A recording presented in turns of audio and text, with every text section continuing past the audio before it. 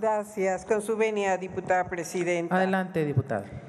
Compañeras y compañeros diputados, hemos presentado reserva a todos los artículos que contiene esta ley de para la desaparición de Notimex, no solo porque afecta a los profesionales de la comunicación, sino que priva a la ciudadanía de una fuente confiable de información en un momento en el que la verdad y la transparencia son necesarias.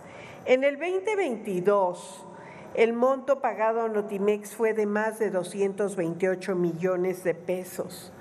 En el 2023, casi 238 millones que representa la cifra más alta que se entregó a Notimex. Y para 2024 se asignaron 195 millones 319 mil pesos.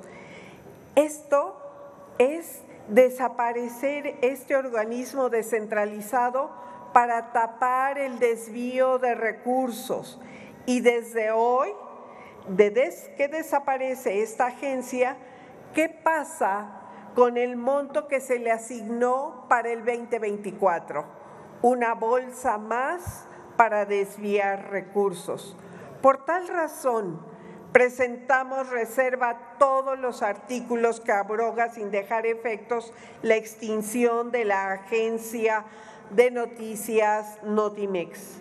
En la bancada naranja de Movimiento Ciudadano no podemos apoyar una reforma regresiva, opaca, en la cual no se, no se valora que con su extinción se deje sin garantía el derecho a la información prevista en el artículo sexto constitucional. Y aquí hemos repetido hasta el cansancio, con acciones como las que hoy se toman, no se va a solucionar nada. Simplemente se quiere dar un carpetazo, evitar todo y volver a cometer la misma acción con todos los paraestatales, con todos los órganos concentrados, con todos los organismos en los cuales este gobierno ha metido mano.